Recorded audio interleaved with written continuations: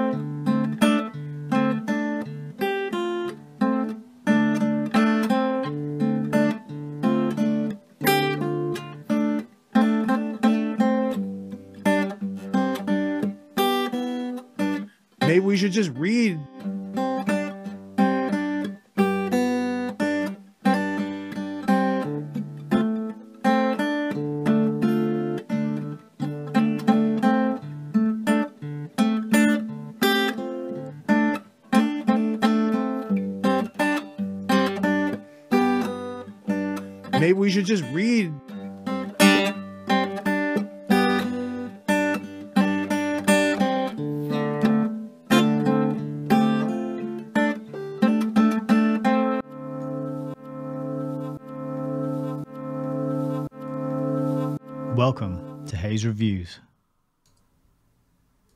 Good evening. Hello. How's it going out there? I hope you can hear me. I hope there's some sound coming through. Let me know in the chat if that is so. I can see we've got Peter, Gwen, and Richard here. And Adam, how's it going? Welcome back. Haven't been here for a while. I feel a bit out of practice, but uh, we have got a new schedule and we're going to dive right back in tonight, continuing with the story of the Rockefeller Foundation. Um, I'm excited to get back into this book. I feel like, um, you know, because I can't continue the reading because I'm doing it on a live stream, and I've got a, we've got a little thing going with the with the live audience here. You know, I have to I have to wait until I'm able to live stream in order to carry on with the book. So I've been itching to learn more, but having to wait until I had an opportunity to uh, to get a stream up and running. Uh, but it looks like we are good. The audio is good and the visual is good, so that is fantastic. I hope you're all doing well. Uh, we have made it through the first three months of the year. Hopefully, for you all, relatively unscathed, uh, although it is quite crazy out there. But what we like to do here is step away from the craziness and that sort of never ending bombardment of uh, incredible news stories and attention grabbing headlines and uh, bite sized chunks of information that are just designed to keep you uh, off kilter and stressed and worried and anxious. And uh, we step away from that and then we take a bit of time to relax into a slower pace where we can read and do some learning and not be so frantic and not worry so much about keeping up with every single little development as it unfolds because that can be very addictive you know information addiction is a real thing i've certainly had my own battles with that uh, in the past and on- ongoing i must say um, i tend to find it very difficult to to step away and just uh, put my phone down take my earphones out uh, and uh, you know go for a walk and do something other than uh, just greedily harvest and and and uh, consume information. And so, I think I like to think what I'm doing here is a slower pace, for people who are trying to go at a more leisurely uh, sort of way into into this kind of information and not be so alarmed and stressed and bombarded by the the uh, the the just constant stream of information that is coming at us out there. Um, so it's good to have you back whether you're here live or watching on the replay. I've been busy behind the scenes uh, working on the waiting screen and the little intro video there that I just played. So I uh, hope you enjoyed those. Um, it's uh, it's all good fun and it's been a learning process for me. And I put all of that together, apart from one clip in the middle, which I uh, got of Richard Grove saying maybe we should just read. because I think in a sentence that really captures what I'm all about here on this channel and what I'm trying to do and spread to other people. The message is maybe we should just read. Maybe we should turn the television off, turn the news off, turn the social media off, turn the Wi Fi off, right? Pick up a book and just read and uh, go back to basics, back to the old way of doing it. You, you, you exercise your mind in a way that is so powerful when you read a book. Uh, even I, am, you know, I'm, I'm, doing this podcast, I'm running the channel, but I don't consider myself to be an academic level expert who is uh, great at this. I just know and recognize that the way information is stored and delivered in books is is a lot more valuable to us uh, than the sort of uh, concentrated dose that we get through our screens and electronic media and digital devices. Uh, it can be an incredible boon to have access to such information and be able to get it uh, in such a concentrated form but I think ultimately the the payoff, the the downside is is quite harmful, in, and that's in terms of attention span, in terms of how addictive uh, these devices become because of the dopamine and serotonin responses that become linked into their use. And I think books are a really nice way to uh, hedge against that and to exercise our brains and our minds and our memory and our imagination and our ability to recall information and to as well put our own information together if, when we're talking to other people because when you're reading a book you're reading all these words sentences paragraphs chapters and it teaches you and trains you to think in a in a way that is more complex and nuanced and so that you can link ideas and information together to form coherent arguments and explanations and, and narratives even for when you're talking to other people out there. So it's an incredibly valuable thing to do. Uh, there seems from my point of view, there's never been a better time to stock up on books because uh, they're quite abundant and they're all over the place and they're you know relatively cheap depending on what you're going for.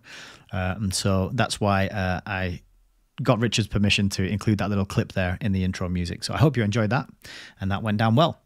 So that's uh, a little bit of an intro, uh, a little bit of an explanation about where I've been, but I'm happy to be back. Uh, I'm going to be streaming Tuesdays, Wednesdays, and Thursdays.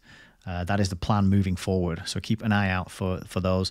Uh, every Tuesday and Thursday is going to be uh, reading, uh, and then Wednesdays will be not every Wednesday, but there'll be something happening on Wednesdays as well. But uh, watch that, watch this space, watch that, oh, watch that space, this space, uh, for more information on that. So let's go into today's sort of preamble, which I have prepared lovingly, but it's mainly it's mainly resources for further further education and fleshing out of the um, context around the the topic that the book relates to. And so, the first thing I wanted to uh, let you all know about is this podcast from Courtney Turner.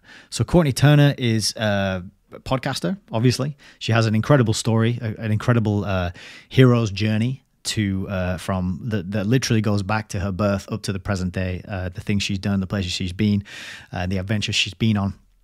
She's a fellow book nerd, and she has wonderful guests and incredible conversations. And she's collaborated with the likes of Jay Dyer uh, and Richard Grove. She was in the most recent VIP Summit three and there's a link to that in the description under my video uh, and uh, you can hear her uh, being interviewed by richard and talking about what it takes to be a content producer and to be educating people. And unfortunately i found out recently as well that her youtube channel has been nuked.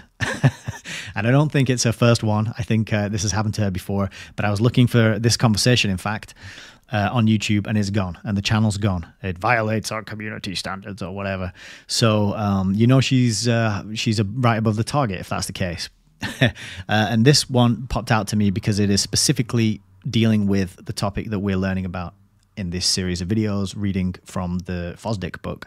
So, this is a deep dive into Rockefeller medicine, Courtney Turner and Maryam Henein.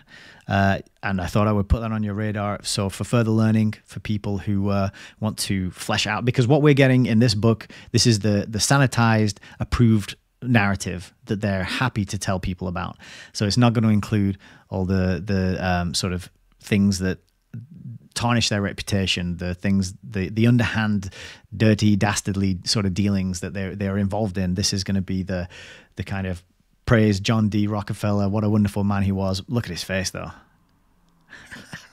he looks almost skeletal.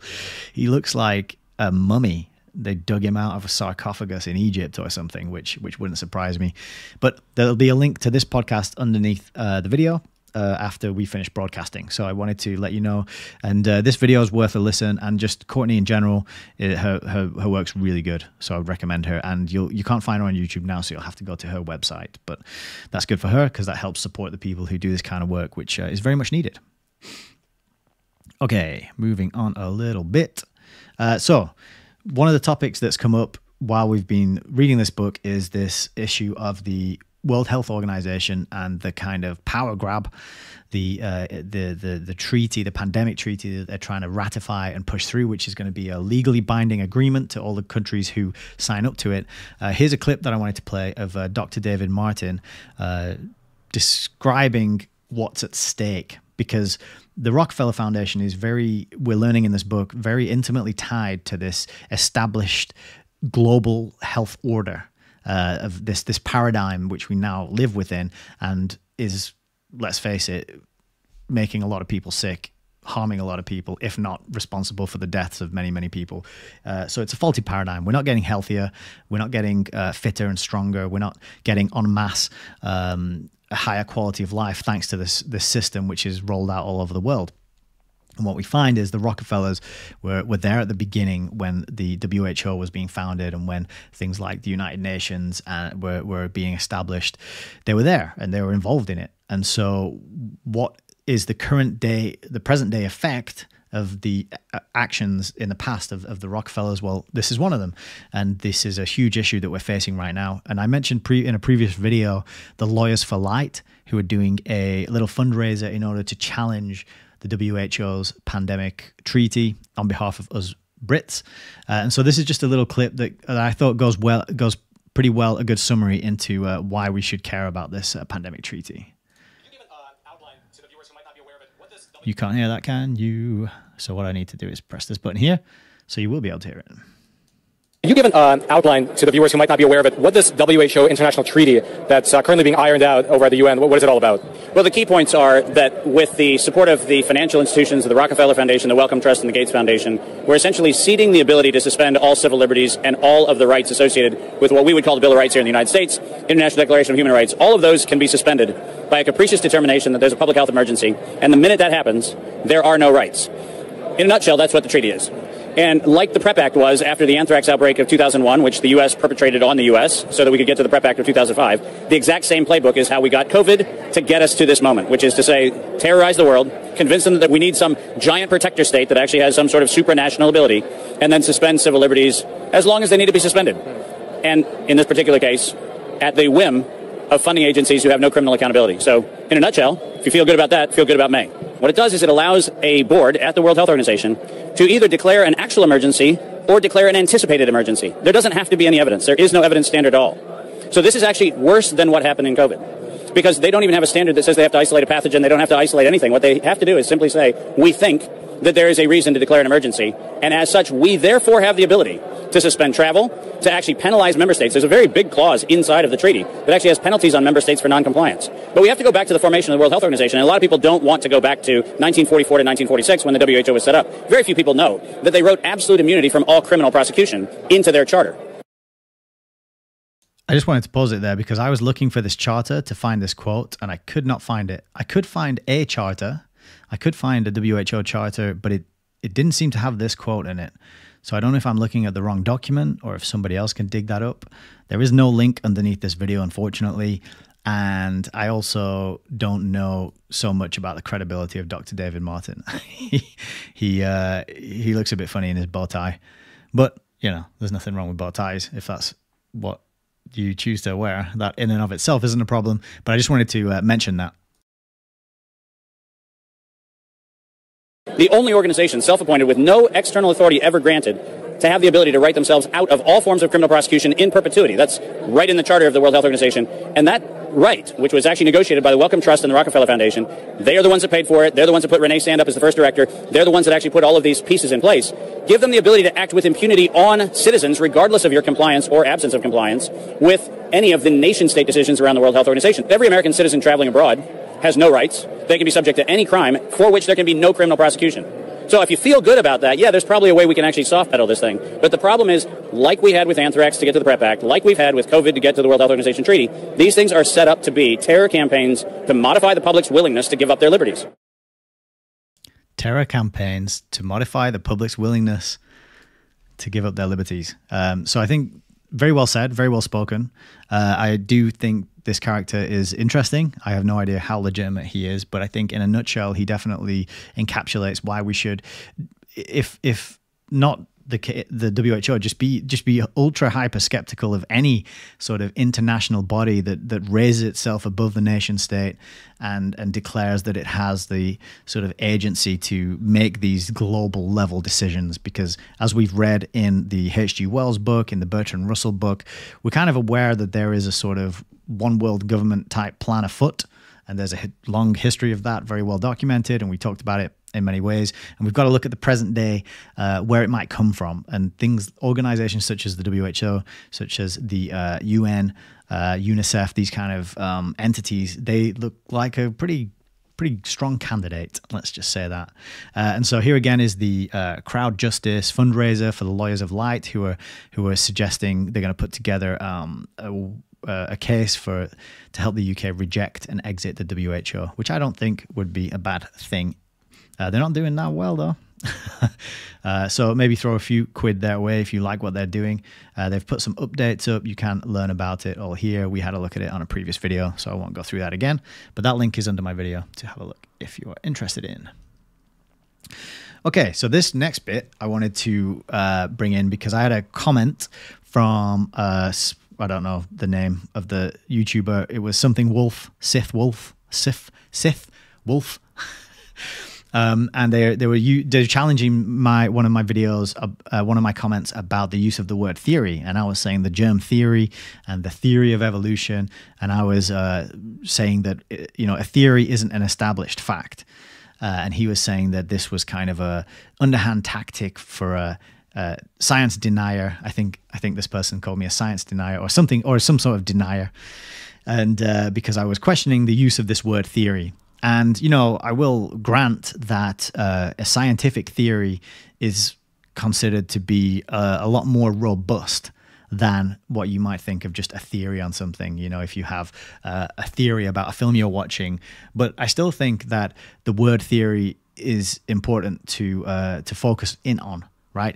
And then I came across this gentleman. Uh, I can't remember his name, but he has this channel Beyond Terrain, and he put this helpful video out, which is about laws, models, hypotheses, and theories, and uh, and how they all relate and interrelate, and what the differences are between these four things.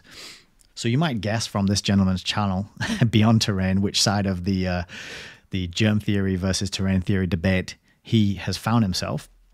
But I like that he goes into the reasoning and the the actual the, the the the reasons why, the explanations why he's looking at these kind of things, laws, models, hypotheses, and theories. And so there's a clip of this video that I wanted to play, which is just uh, you can see here it's divided. We've got hypotheses. There's a good 14 minutes on that, and then this section here is about theories. And I wanted to play that because I think it uh, summarizes really well, like uh, how to think of this word theory. And I will sort of stand corrected and say, yeah, you shouldn't throw the baby out with the bathwater just because it has the word theory attached to it. But, but let's watch what this guy has to say and uh, and see what you think. So let me just mute me. We're going to be talking about theories. And in theory, the generation of theories comes from hypothesis. It comes from inductive reasoning. We'll touch more on that in a moment here. But theory I liken it to the scientific consensus. And, and it, in general, the theory is an explanation of the natural world. So a theory is a general explanation. It's very general. Hypotheses are very specific, and theories are very general. General explanation. So, of course, we go from hypotheses to theories. They are representations of the scientific consensus. And the last thing I'll say here is that they're built over time. And so generally this is this is how it goes, right? So you go from conducting a, a plethora of experiments, you bundle them all up and you create a theory. And this is, makes sense, right? Of course it relies on the quality of your experiments. It relies on the quality in this case of the scientific literature. Because in, in theory, this is a great way to generate theories based on a, a number of experiments. So it's also claimed in kind of the scientific communities and the scientific method itself that not only are they built over time, but they're reviewed and renewed over time as well. So they're they get refined over time. And I mean, like again, this is good, right? New data should be able to come out and challenge theories, and and when new true data comes out, it should be implemented into that theory, right? They, the theories should be moving. They should be molding with experiments as they go because this is the notion right? We can we conduct more experiments all the time. We test new hypotheses and you know multiple experiments now are needed to test one hypothesis for some reason and and essentially what we need is multiple hypotheses to generate a theory. And of course refinement is important here. When new data comes out that's reproduced that we know is factual that we know is true this is when we need to revamp the theory itself. So i really like that point that he's making there, which is that these theories should be updated constantly and they should be added to and expanded and changed and, and challenged. But I think in many cases, and he's about to say this next in, in this next point, that doesn't happen. Uh, but I think that's a really key part to to remember, and that how the theories that we've got and we're operating on, how old are they? Has there been any challenge to them? Uh, has there been some sort of uh, is there some history of one um, side being emphasized than another, for example, uh, which is quite quite a key question to ask, especially in relation to um, to the germ theory and terrain theory debate. Obviously, theories are extremely dogmatic now. A great example is the germ theory. Not they do not want to budge, right? They think that their experiments conducted are enough to prove the germ theory, but it's because we're dogmatically tied to the theories because we learn these theories in school from a young age. We go through, we spend thousands and thousands of dollars, hundreds of thousands of dollars on university, years of our lives, 10 years, 10, 12, 13 years by the time you get a PhD, by the time you get through grad school and through, you know, maybe uh, med school. And so we're so tied to these theories. It's, we're so dogmatic in our thinking that we don't want to accept new literature. We don't want to accept new data. We don't want to accept new explanations of the data. We don't want to accept any confounding variables that may have been present. And so dogma is a problem when it comes to theories.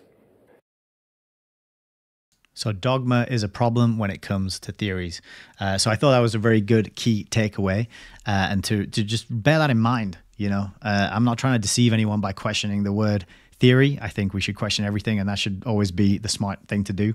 Uh, but I like this guy, and I like his video, and I think he's trying to spin up this podcast. He's got a nice 560 subscribers, but uh, I like I like his old school style. You know, talking about books and, and kind of going to the old ways uh, and slowing down a little bit. I like it. He's got a his blackboard, his piece of chalk, and you can tell he's not reading from a script or anything. He's he's trying to explain it in the moment, and I think he's authentic and genuine. So definitely worth keeping an eye on this guy and learning from him because I think he's certainly going to get more polished as he does more of these. And he's got a podcast, and but great point there. Bear that in mind. Uh, that theories. At what point does a theory become a dogma that is just so that becomes unquestionable? Uh, and and and how can we be sure that not that we shouldn't be questioning that theory and that dogma? You know.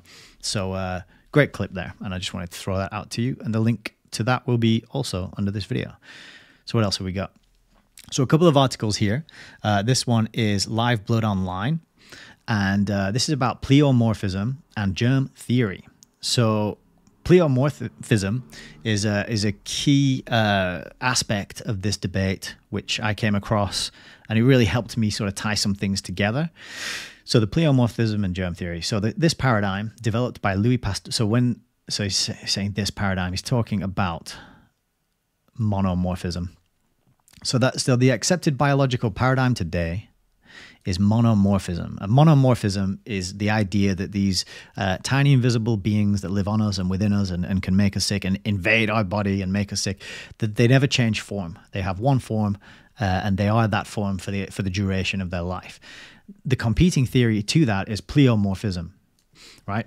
So the monomorphism is the paradigm developed by Louis Pasteur and other scientists, states that all microorganisms only have one possible form and do not have the ability to evolve into different types of organisms. The germ theory followed, which states that specific diseases are caused by infection with specific microorganisms and are cured when the microorganisms have been destroyed. it's always a warlike uh, type of thing uh, with these guys, isn't it? This led to the development and widespread use of antibiotics, animal testing, and many of the other atrocities of modern medicine. Pleomorphism, the polar opposite of monomorphism, was developed by scientists like Antoine Béchamp and Gunther Enderlein and states that microorganisms have various life cycles and stages of development that can range between viruses, bacteria, yeast, and fungi, depending on the type of microorganism and the environment it is presented with. So the person who left the comment challenging my um, my my my a comment commentary on the word theory said, "Well, how do you explain disease then? Why is there uh, bacteria at the at the site of diseased tissue?" Um, and the the metaphor that I have for that is, why is there firemen at a at a burning building? You know, you when you don't you don't see firemen at the burning building and think, "Oh, they must have caused the fire," right? And I think the the terrain theory and the terrain model and this pleomorphism model that's a good metaphor to bear in mind for why the bacteria and the virus and the fungi uh, uh, tend to be at, at, these places when disease is present. And so, last quote here, and this is quote from Antoine Béchamp. What is interesting is that pleomorphism and its proponents has been entirely written out of history books and encyclopedias and is not as much mentioned, even for historical interest, in universities and training institutions. So actually, that's not a quote by Antoine Béchamp. Sorry. I think this next section is about Antoine Béchamp. That's just a, an important quote from the writer of this article. And then and then it goes on to tell you about some of these people, so you can learn a little bit about them. Claude Bernard, Royal Raymond Rife, uh, incredible. His work is so interesting. Uh, he, he's basically using radio waves and sound waves to cure people. Gunther Enderlein, all these guys just just written out of the books. So that, so the next question is like, who who wrote the books? so that's another interesting article there uh, for you to explore and learn from. Uh, and then this is another one about uh, tells you a little bit more about pleomorphism gives you a, a nice little diagram, which uh, which um, I have a bigger copy of on the next page. But again, pleomorphism is the ability of microbes to change into many varied forms in a developmental cycle, depending on the conditions of the environment. Pleomorphism provides a much more complete view than monomorphism, which is the foundation of modern medicine. The view that microorganisms are monomorphistic, i.e., as existing in one fixed and unchangeable form and therefore classifiable. As opposed to the short term, symptomatic, and often suppressive medical interventions prevalent today, the symbiotic approach fosters long term, deep, and regenerative methods of increasing health. So, another interesting uh, resource for you there. Uh, and this video which is linked, has a very interesting title. LCFR is controlled by the Rothschild family. Now, unfortunately, this video is uh, in German, and I do not speak German.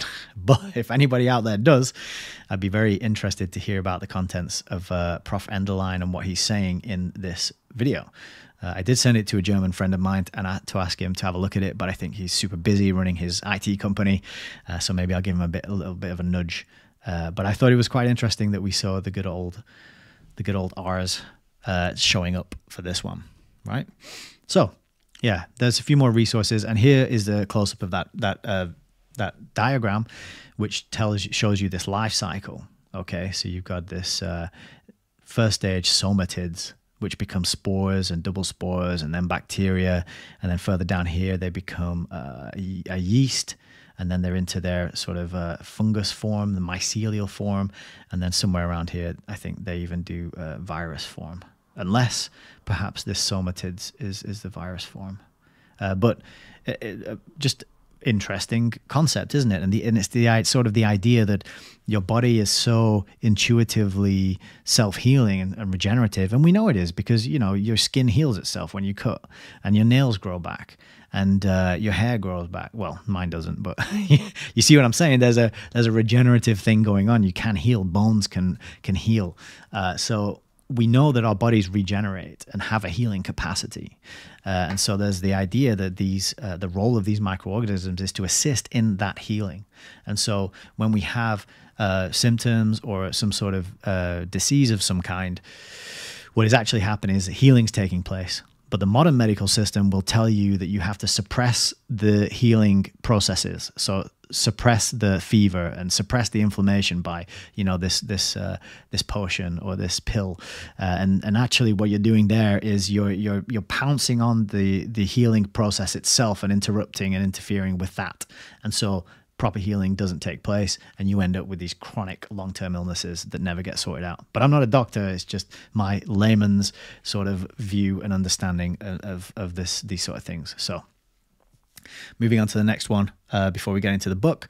Uh, here is uh, was this is a book called the sleeper this is the homepage of an author who's written a book called the sleeper agent and this was uh, pointed out to me by heidi who i think is in the chat tonight thank you very much for putting this uh, in in the telegram group uh, because i actually have spoken to this guy and i know this author uh, not in any great length, but I, I did speak to him when I first joined the autonomy course.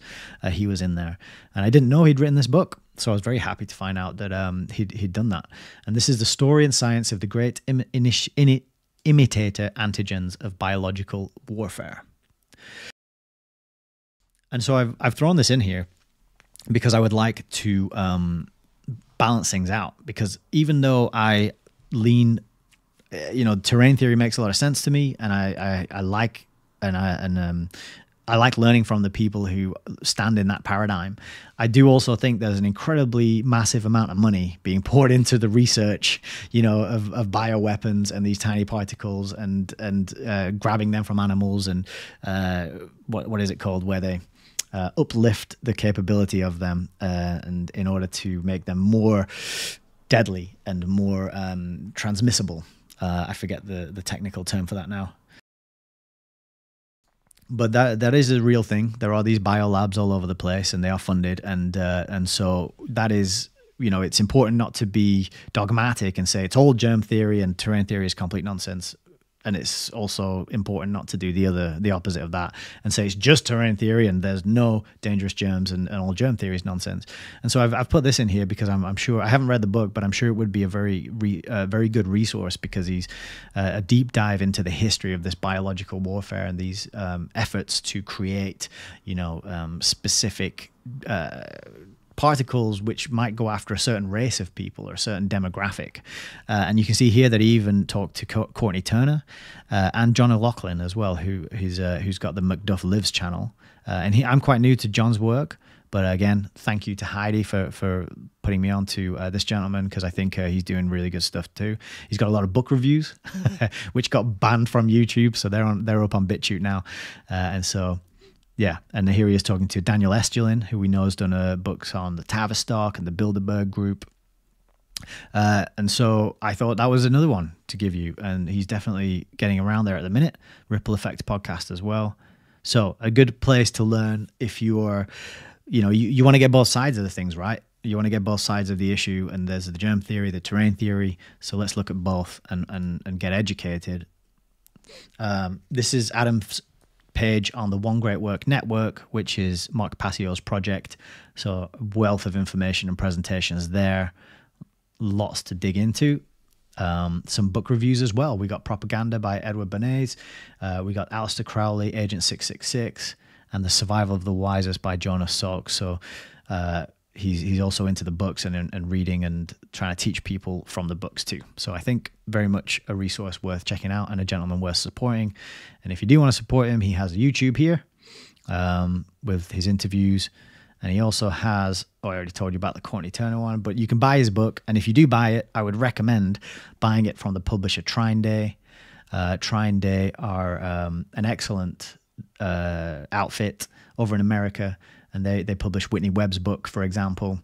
And they've got a, a wall of heroes, and, and they specialize in books that don't get printed in the mainstream, but have very important information that that people need to know about.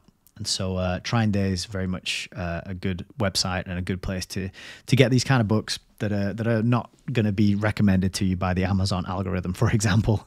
Uh, so, if you are going to buy that or you're interested in getting a copy, uh, definitely consider buying from Trine Day. Would be my advice because uh, they are good people and uh, they have a podcast as well. Uh, so plenty of stuff to explore and uh, really lo- long, a big back catalog of books. So that is that. That links for that will be underneath. Uh, and just as a final point as well, exosomes. So back in the early days of the Big C event in 2020, um, we had David Icke was interviewed by London Real and he was talking about these things called exosomes. And he was saying that what was being seen in a microscope and labeled as a word that I probably shouldn't say if I don't want to get censored, but you know, the V word, the, the virus. I'll, I'll go with Nigel's Nigel's code word, the virus. he said actually they're exosomes, and the and these exosomes play a, a role in the um, process that we were just talking about, the pleomorphism process. And so, just as a as a sort of experiment, I thought, well, he he, he was he was suggesting that the exosomes were what were really being seen, and they, they weren't uh, virus particles. And so, just as a as an interest, I thought let's have a quick look, and you can see here the exosomes are 30 to 150 nanometers, so they're very tiny, and the size of a virus is 20 to 800 nanometers. So, kind of in the same range. I mean, the exosome is in the lower end of that range, but it is the same range, isn't it? So, quite interesting. Reasonable to think that the two might be one and the same or might be mistaken one for the other. Uh, but again, I'm a layman and I'm just kind of uh, finding my way through these sorts of topics. Uh, and I'm very glad to have you along for the ride. So that's my little uh, spiel, my little introduction spiel, and we will get into the book. Quick sharp. Uh, I'll just have a quick sip, and then we'll check the comments. So, oh, we got loads of stuff going on in the comments. I don't think I'm going to be able to read all these out, so I hope you're all having a good time. um, yes, we got loads of stuff going on down here. Gwen's here, Heidi's here, Peter, LJ, Adam. Gwen, yeah, awesome. I don't think I have the time to read all these out. We got to get on with the book, haven't we? anyway, I hope you're all uh, enjoying yourselves in the chat there. So let's get into the book. That was quite a long intro, but you know I haven't done one of these for uh, I think it was a week and a half ago when I last did one. So, so that's what you get when I have some time off, isn't it? Okay, let's crack on. Rockefeller Foundation. So I'm quite excited about tonight's chapter because there we go. Because it's all about Rockefeller's interest in uh, China. Uh, and uh, I just had a quick look, uh, brief scan over the first page of this chapter that we're going to read tonight. And uh, yeah, quite an interesting revelation in the very in the very first sentence. So let's get right into this. This is chapter seven, and it is the Johns Hopkins of China. Historically, China shares with the International Health Division in being one of the two oldest interests of the Rockefeller Foundation, and the foundation has spent more money in that country than in any other country except the United States. Oh, Peter's saying emergency backup. Yes, I'm recording all of these uh, to my machine uh, where I have them ready to be uh, handbraked down into a smaller size and then re uploaded to other websites. I think that's what you're asking about. Um, yeah, so how about that? First sentence. So China is one of the two oldest interests of the Rockefeller Foundation, and it has more. Uh, the foundation spent more money there than any other country besides the United States. So how about that? Quite an interesting revelation. Why would a philanthropic foundation, uh, born and raised in America through and through, who just cared so much about the nation's people that the patriarch of the foundation would walk around giving money to uh, children in the streets, but only when there were phot- photographers nearby. Why would they be investing so much and caring so much about pouring money into China? Let's find out. It was, as usual, Mr. Gates who initiated the development, although his ideas were undoubtedly influenced by his long contact with Mr. Rockefeller's interests in church missions in the Far East. The plan, as Mr. Gates first conceived it, before the Rockefeller Foundation was established, involved the creation of a great university in China dedicated to higher education. He was prompted in this idea by the successful launching of the University of Chicago, and he believed that with an expenditure of something like $10 million, a similar venture, with similar results, could be initiated in China. I thought, he wrote a few years later, that we might ourselves perhaps establish in China a university, teaching no religion, but hospitable to all faiths, a university in fact and not in name only, teaching all that is taught in Western universities, offering itself as a model for the Chinese government and raising up teachers for the new Chinese education. It was partly to explore this idea that Gates induced Mr. Rockefeller to finance the Oriental Education Commission, headed by Dr. Burton, which, as we have seen in a previous chapter, made an extensive study in China in 1909. The report of the commission convinced Mr. Gates that his plan of a great university was a dream not then possible of realization. The missionary bodies at home and abroad, he wrote, were distinctly and openly, even threateningly hostile to it as tending to infidelity. On the other hand, not even Mr. Rockefeller's promise of $10 million for an endowment could tempt the Chinese government to tolerate our proposed institution, freed though it was from all religious bias, unless we could consent that it be controlled and run by appointees of the Chinese government. One interesting thought that popped up for me here is why do you want to be so why do you really want to make sure it's free of religious bias? Um, because to me that you know religion, for all its faults, it does keep people. It gives people a moral system. You know that's part of what it does, uh, and so to me it kind of sounds like well if we get rid of the religion. we don't have to worry about any moral, uh, you know, questions, do we? We can just do whatever we want, run whatever experiments we want. I don't know though. That could just be me projecting onto it, but they're very. In, it's interesting. They're adamant about it not being religiously affiliated. The study by the Commission of the sort of schools China was actually trying to establish disclosed incompetence so universally and dishonesty so frequently as to make any considerable Chinese influence in the conduct of the proposed institution out of the question. Thus, were we awakened in 1911 from our dream of a great Chinese university with a foundation of $10 million. Two years later, Rose's spectacular demonstration of what could be done with hookworm and the extension of his campaign on a worldwide scale started Gates on a fresh line of thinking. Quote, Our plans for the spread of scientific medicine and sanitation, he wrote, give our interest in China a new and more promising direction might we not do in medicine in China what we failed in our attempt to do in Chinese education? Uh, so they went. Uh, so they went for education first, uh, and uh, they got they got that plan poo pooed, and so they thought, well, we'll go for their we'll go for their medicine. Under the stimulus of Gates, warmly supported by President Eliot of Harvard, who had had much to do with the establishment of the Harvard Medical School in Shanghai in 1911, the newly organized Rockefeller Foundation began to explore the possibility of developing modern medicine on a significant scale in China.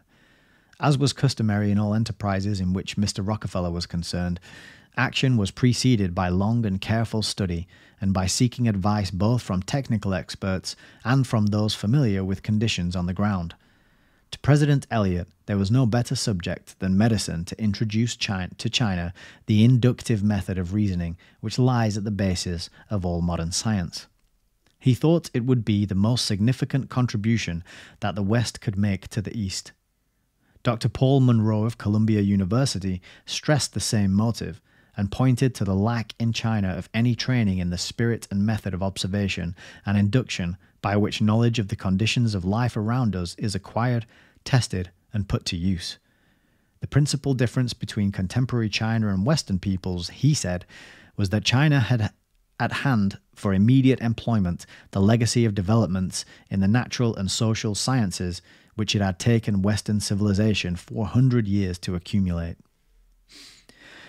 Many of those consulted felt that medicine would avoid the entanglements in religious, political, and social issues involved in other approaches. The missionaries would welcome it, and the Chinese government would be hospitable. The lack of stability in China was, if anything, an added argument for acting at once.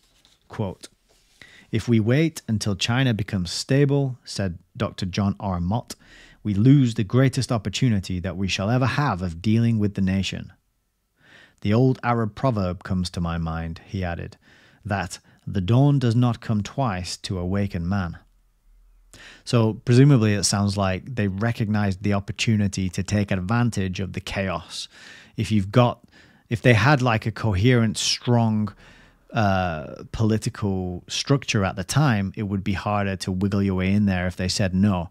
But if there's a bunch of factions all going at it and all vying for control and influence and power, power in different areas, then you can find a group that'll work with you and fund them and support them and, and get in that way, can't you? That's kind of my interpretation. Order out of chaos.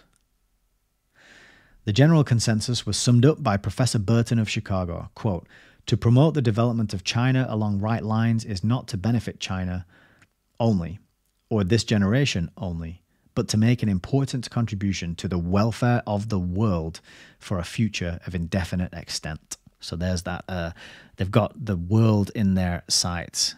That is their target, isn't it? Uh, just checking out quotes. Yeah, good stuff. Heidi was asking, does he ever talk about the nefarious Rockefeller Institute? I'm not sure about that actually. It's a good question. And Peter's talking about Bill Gates. Oh, I shouldn't say. I should. Jill Bates goes uh, and, and runs tests on people in India. Yeah, and uh, he's in trouble there, hasn't he? They've they kicked him out and have really got fed up of him. Anyway, continuing part two. With these high hopes and in this spirit, the work was undertaken. At Gates's suggestion, the first step was a survey on the ground, and a commission headed by President Harry P. Judson of the University of Chicago was sent to China to determine where and in what manner medicine, surgery, and public health could effectively be introduced. If the Burton Commission of 1909 can be called the first commission, this was the first medical commission. Roger S. Greene, United States consul at Hankow, and a brother of Jerome D. Greene, the secretary of the foundation, was a member of it, as was Dr. Francis W. Peabody of the Harvard Medical School. Traveling by way of the Trans Siberian Railway, the Commission visited 17 medical schools and 97 hospitals in China. Visits were also made to universities and secondary schools, both missionary and governmental. Conferences were held with the leading officials of the central government and of the various provinces, and with scores of medical missionaries. Of the 18 provinces in China, the Commission visited 11. This detail is necessary to understand the scope of the study and its determining, determining effects on the later actions of the trustees of the foundation. It outlined the method of approach and the medical and social background against which the work would be done. The recommendations of the Commission involved five principal points. First, it confirmed the idea that medicine was the most effective approach that could be made to China. Quote, the need is great beyond any anticipation, and the opportunities for progress in all lines are equally great. Second, it emphasized the point that the work should be undertaken on a large scale with the understanding that it will involve a long time, and that it should be, quote, on the highest practicable standard. Third, it strongly recommended that the project should be started at two points in Peking and Shanghai. Fourth, it proposed that the teaching in the new medical schools, quote, for the present and for some time to come, should be in English as the main language, because of the lack of any body of medical literature in the Chinese tongue, and the impracticability of translations. Fifth, it suggested the immediate institution of a system of fellowships which would enable selected Chinese graduates in medicine to prosecute further study abroad and thus be prepared to assume responsibility in the new schools. So, this uh, sort of sounds like and reminds me of the Rhodes scholarships, where the recipients will be very carefully selected and groomed for these positions of influence and authority uh, later down the line. Less than a month after the receipt of the Judson report, the trustees of the Rockefeller Foundation established the China Medical Board as an integral part of the foundation's structure, analogous to the International Health Board, which had already been created. At the suggestion of Gates, Dr. Wallace Buttrick of the General Education Board was made director, a position which he reluctantly accepted on a part time basis. The choice was a happy one.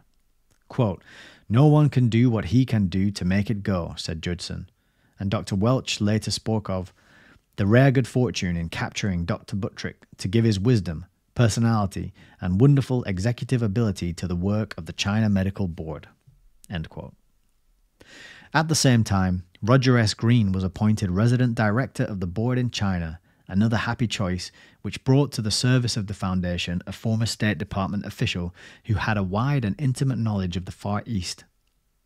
One of the initial problems was the relationship of the proposed new activity in China to the medical missionary organizations which were already in the field and which were doing the best work then being done. Protestant missions alone were maintaining over 300 hospitals in China. Dr. Eliot, who had studied their activities firsthand, was impressed by their ideals and devotion, but their resources were always inadequate. He wrote, and under such conditions, both men and women are overworked, deteriorate, deteriorate in their own technique, and become callous to the disastrous conditions under which they are compelled to treat their patients. As the news of the plans of the foundation in China began to spread, it was inevitable that uneasiness should develop in some sort in some of the missionary bodies. It was at this point that the tact and judgment of Dr. Buttrick showed to the greatest advantage. He knew intimately the personnel of the missionary societies, and in many long conferences, both in the United States and in England, he was able to persuade them that the proposed development of medicine in China was in harmony with the common aims which they all shared. It was not intended to supersede, but to supplement what was already being done. Indeed, the plans of the China Medical Board involved as an integral part of the program the idea of direct financial assistance to promising medical enterprises in China. And beginning with Buttrick's administration and continuing through the administration of Dr. Vincent, who succeeded him as director of the board in 1918, aid was given over many years to strategically situate medical schools sorry, aid was given over many years to strategically situated medical schools and hospitals, for the most part under missionary auspices, to improve their buildings and equipment and to increase the number of their doctors and nurses. In addition, a system of fellowships was developed by which capable medical missionaries could return to the United States for further training in institutions like Johns Hopkins, Harvard, and the Mayo Clinic. Later, a similar fellowship plan brought missionary doctors to the Peking Union Medical College. It is not too much to say that all this varied auxiliary assistance, which amounted to approximately $1.5 million, helped to sharpen and unify medical missionary effort in China. It stimulated at many points higher standards of medical practice and thus increased in hospital constituencies the level of support for medical care. But in the early days, there seemed to have been anxious moments in the relationships with missionary groups. One missionary body, in a public statement, declined to accept aid, quote, until it could be determined whether the Rockefeller assistance would in any way interfere with the complete control of our institutions. End quote. Buttrick, writing to Roger Greene in Peking, commented philosophically, quote, I do not worry much about this because the General Education Board has been suspected of unworthy motives through all the years of its existence. People have always suspected Greeks bearing gifts, and they will continue to do so until the end of time. Nevertheless, a little later, Buttrick wrote to Gates, quote, I would give several pairs of old shoes, and that is a real sacrifice, if you were here now. I need support. Precious shoes. The main objective of the China Medical Board, however, was not to scatter its aid over a wide area, but by establishing its own medical institutions to concentrate its efforts in a convincing demonstration. In 1915, therefore, after long negotiations, it purchased from the London Missionary Society the ground and buildings of the Union Medical College, which the Society owned and operated. It was around this centre and on this site that the great Peking Union Medical College was erected. Buttrick, however, was not satisfied that the technical aspects of the project had been fully canvassed, and later in the year, a third commission consisting of Dr. Simon Flexner, Dr. Welch, Dr. Frederick Gates, a son of Mr. Gates, so there's some nepotism right there, and Dr. Buttrick himself spent five months in China, examining the situation on the ground. While the conclusions of this commission were in harmony with the general plan of work already adopted, much valuable light was obtained on concrete aspects of the work to be done, and a more adequate estimate of the magnitude of the task was made possible. For one thing, it was discovered that if a first class institution was to be established, provision, provision would have to be made for the training of pre medical students. Coming from their own universities, Chinese students were not prepared for the first year work of a modern medical school. Out of this consideration, developed an extensive operation by which, for many years, the China Medical Board financed pre medical education not only in Peking and Shanghai, but in other Chinese centers as well. An unforeseen byproduct of this operation was its widespread influence in raising the standards of science teaching in the colleges of China. And we've got a little footnote here it should be noted that between 1929 and 1935, the Natural Sciences Division of the Foundation contributed to Chinese universities and institutions sums totaling a little under a million dollars to support the teaching of the sciences related to pre medical training. This was supplementary to the work of the China Medical Board. Another point that the Commission underscored related to one of the objectives of the new institution it must aim to put the responsibility for medical education in the hands of the Chinese themselves at the earliest possible moment. As Dr. Welch observed, the speed with which the Chinese accepted scientific medicine as their own, and the rapidity with which the board's importance in the field diminished, would be the measure of success. The Commission also returned with a renewed emphasis on quality. The job must be superlatively well done, the training that was offered must compare favorably with the training given by the best European and American medical schools. Quote, we must create the Johns Hopkins of China, said Dr. Flexner, and in a public address which Buttrick made shortly after his return, he said, quote, Our best service will not be rendered by aiding a large number of schools, to train men imperfectly for the immediate needs of China. The greatest service we can render is by establishing these two schools at Peking and Shanghai on such a high plane scientifically and educationally that there shall emerge young men and women capable of studying the medical problems of China, of producing a medical literature, and themselves becoming the teachers of the next generation of Chinese in the very best that modern medicine can offer. To that task we propose to set ourselves. So their idea for setting up a uni- um, uh, education, a university, was knocked back, but they're still going ahead with training teachers. Uh, so they're getting in there one way or another, aren't they?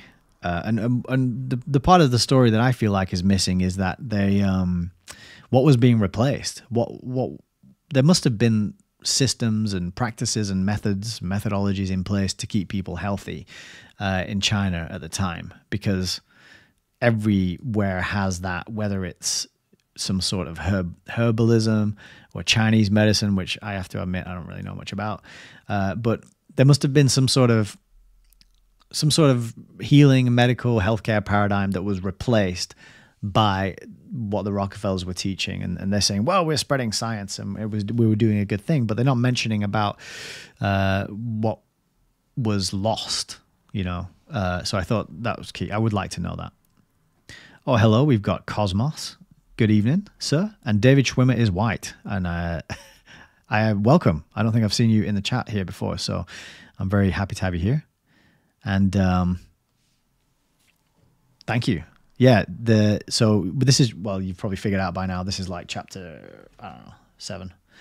Uh, but there's a playlist on the channel. Uh, if you go to playlists, and then you can see all the previous videos in this series. Uh, we're just reading it from cover to cover, so there's quite a lot. You might want to go to the uh, saved videos and stick them on 1.5 speed if you can tolerate my voice uh, slightly sped up. Um, yeah, good to hear that you're buying books. The Monsters of Babylon, The Tyranny of Human Rights, and Decline of the West. They sound very interesting and and uh, useful to have. Good on you for stocking up on books. Uh, Heidi has a quote here from an Orthodox saint which says, Look into the abyss, then have a cup of tea. that is a good one. I like that a lot. All right, awesome. Let's carry on. So, part three. Meanwhile, the building operation in Peking was moving forward.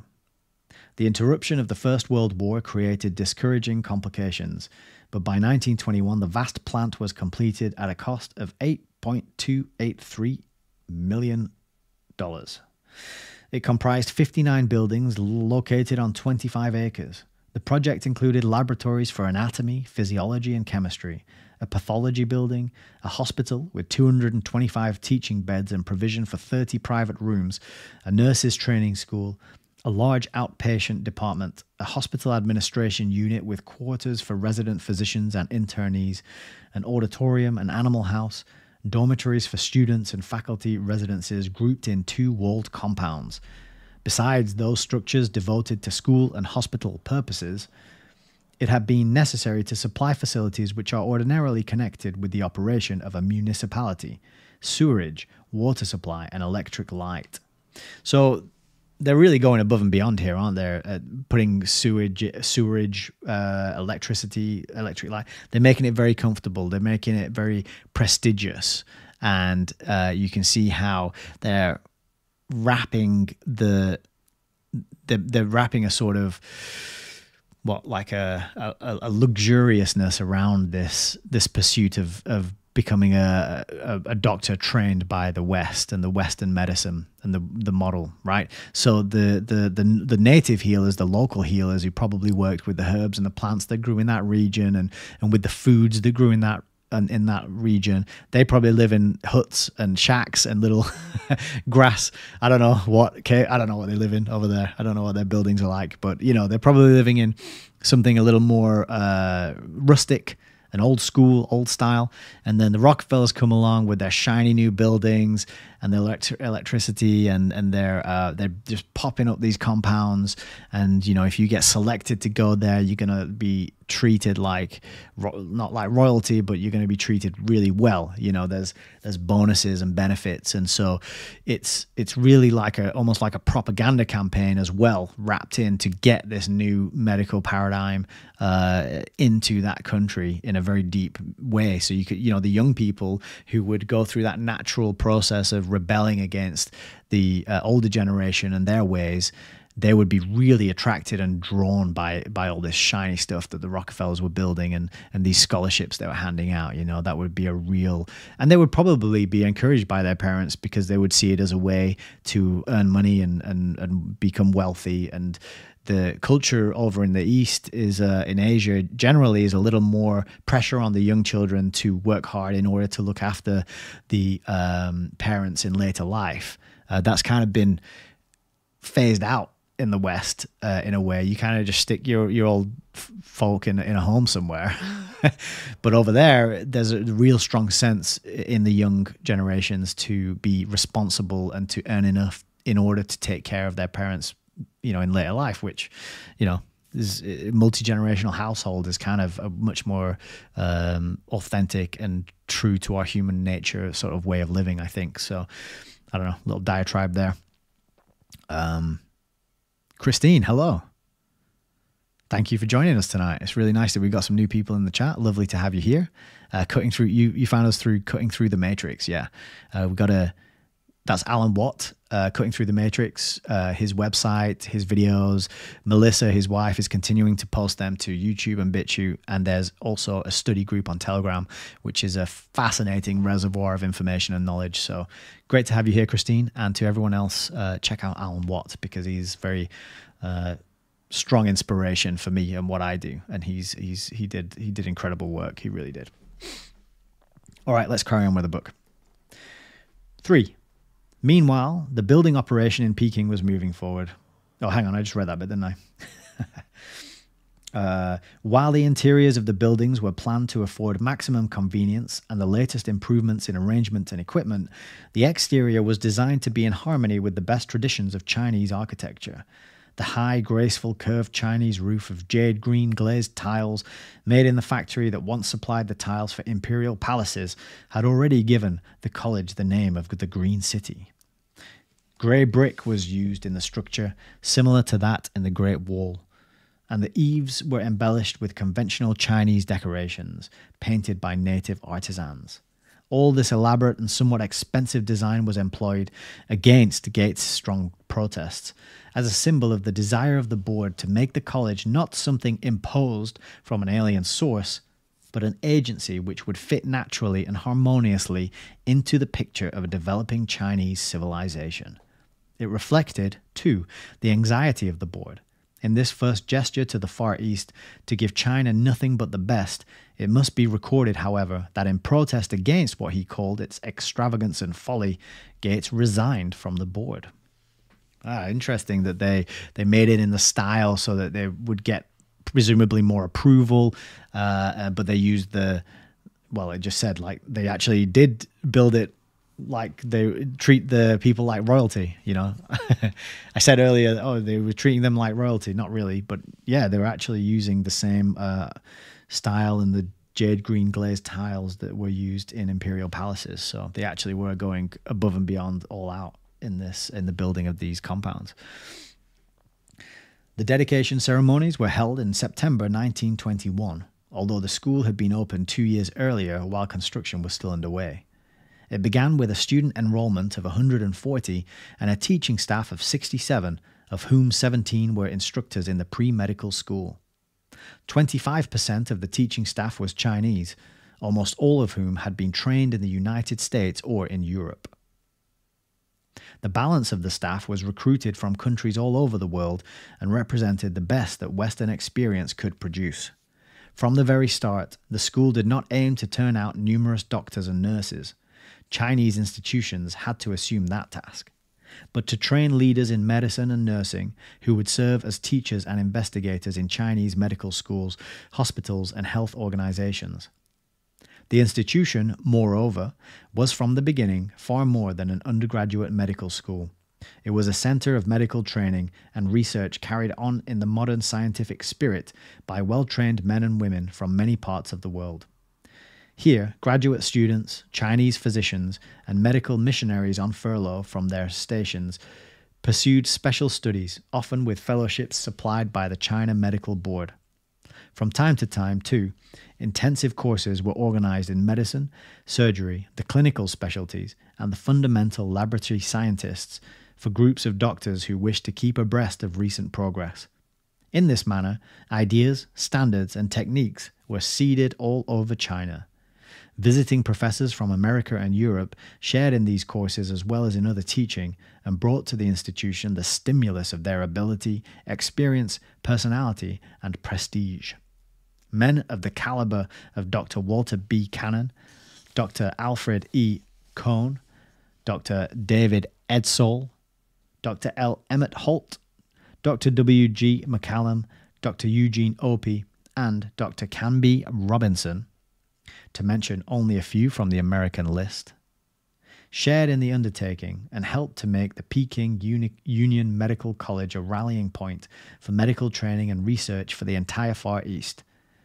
Many of the younger American doctors who served in Peking returned to the United States to positions of influence and widening usefulness. Meanwhile, the plans for a similar institution at Shanghai had been reluctantly abandoned a site for the new school had been purchased there in 1916, and a group of trustees had been chosen to administer the enterprise. But the First World War upset the calculations with steeply rising costs of materials and supplies. Experience in Peking showed that the Shanghai budget could not be kept within the limits planned. Indeed, the Peking school had already cost more than three times the combined amount of the original estimates for both projects, and with the annual budget at Peking running close to $700,000 a year, the foundation felt that another school would represent too great a drain. Moreover, the difficulty of finding an adequate staff for a second school began to be more evident. And when this difficulty was added to the fact that the high standards of the Peking College were absorbing the total number of properly trained pre medical students, and that Peking, therefore, would be able to provide for all qualified applicants for many years to come, the impracticability, the impracticability of the Shanghai Plan became obvious. LJ is saying that she loves herbs and it's lost knowledge. Herbs and Health by Nicola Peterson is good. Also, The Hedgerow Handbook by Adele Nozedar. Thank you for those recommendations, LJ. Um, yeah, these things they're growing. I mean, when you think about it, right, all medicine comes from plants, yeah, but you can't patent a plant and you can't um, charge people for it because it just grows naturally. You can't patent nature, you know. Uh, copyright laws don't allow that. So they have to get the plant and then just process it and extract whatever the compound or the molecule or the active ingredient is, uh, and you know, and then um, and then they can patent that, patent that, and charge people for it and get people hooked on it, and then you've got a business model. but uh, yeah, if if it just grows in the dirt and you can grow it at home, then it's not a very profitable business model, is it? Just give someone some seeds, and then they've got a never ending supply of healing medicinal herbs that they can use to to help themselves. So I'm uh, I think those book recommendations would be very valuable for sure. And LJ, uh, are they are those books uh, dealing with a specific region of the world? That would be good to know as well. Heidi says they can patent nature now. Many, many patented plants now. Really? Huh. Is it is it because they're they've been genetically modified?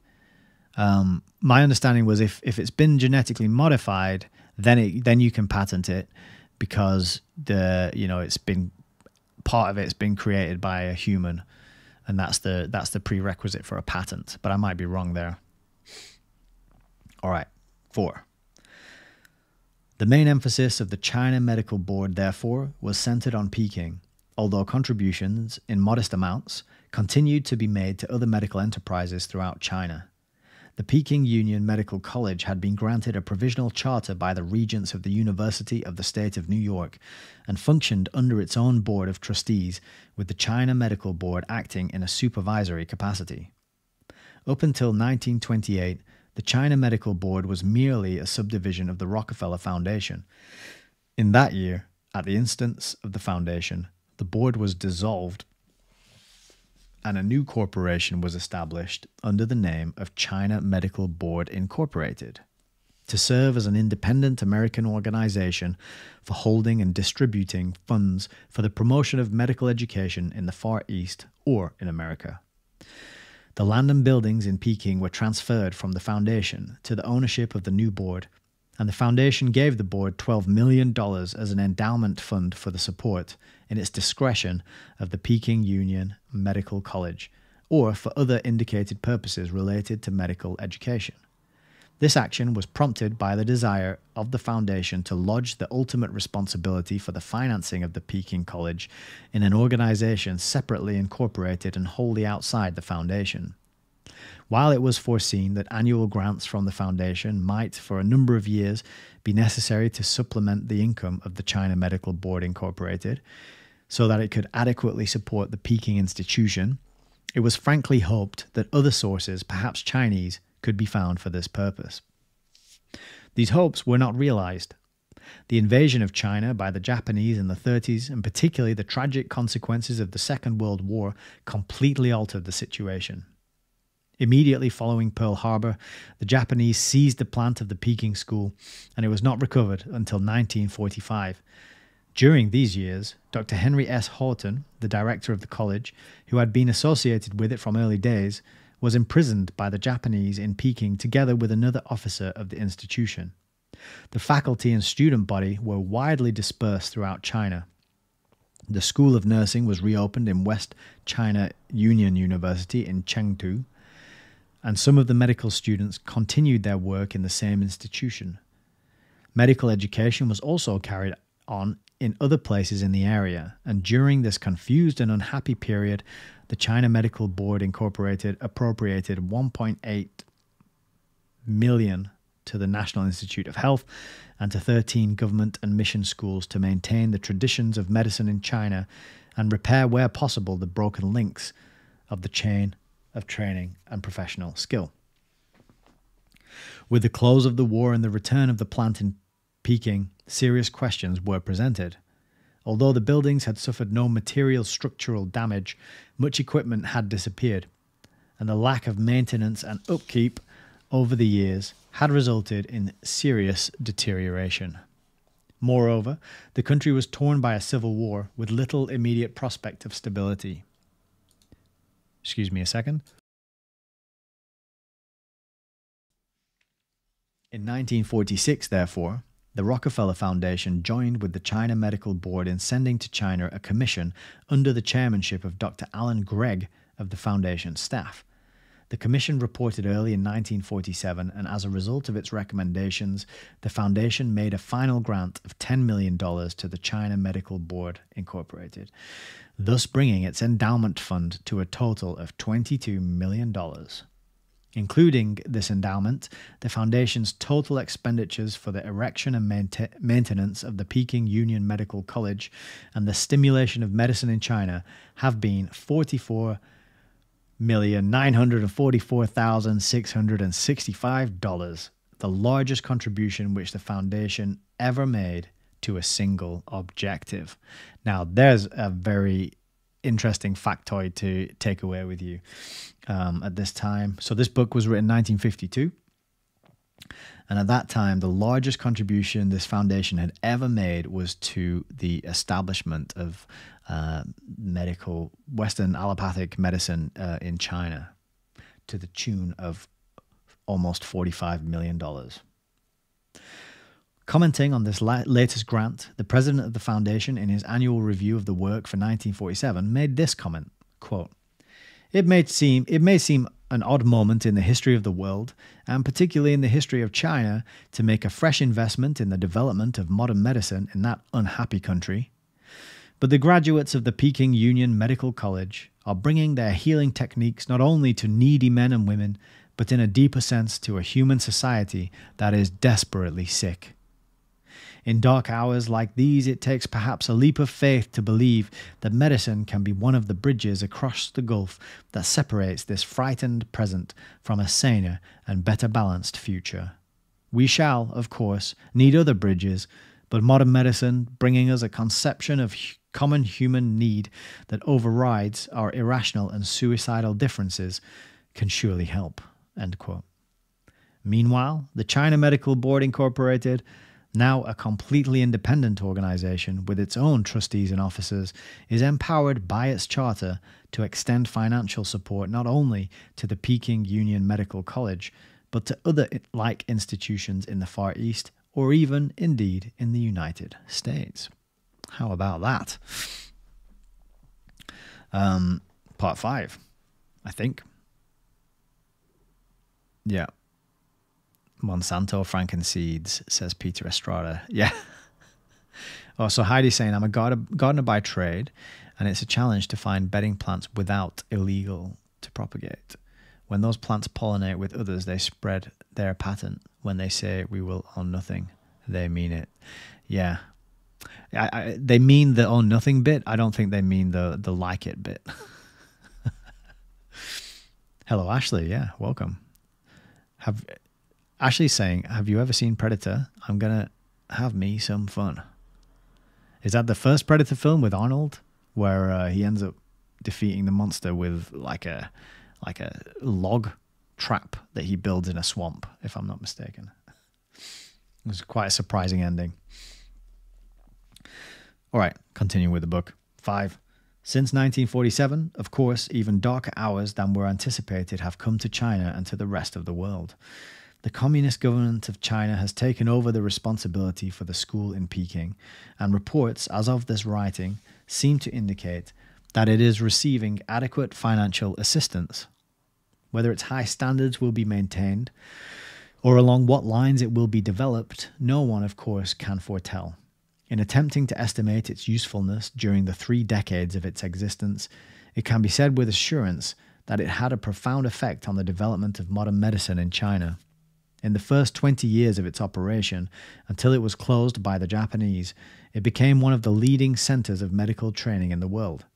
It was the outpost of teaching and research in the Far East, a symbol of high quality and objective approach. Indeed, in helping to establish the value of scientific method and inductive reasoning, it represented perhaps the most acceptable gift with which the West could have offered the East. During this period, it became an integral part of the intellectual life of China. It was welcomed with unstinted enthusiasm. Over 40 years ago, in a lecture at Stanford University, William James said that a college should be a place of intellectual ferment. That phrase describes with vivid accuracy the institution in Peking. Up until Pearl, Pearl Harbor, less than 10 of all its graduates had gone into private practice. All the others were absorbed in medical teaching, in hospital posts, or governmental medical positions.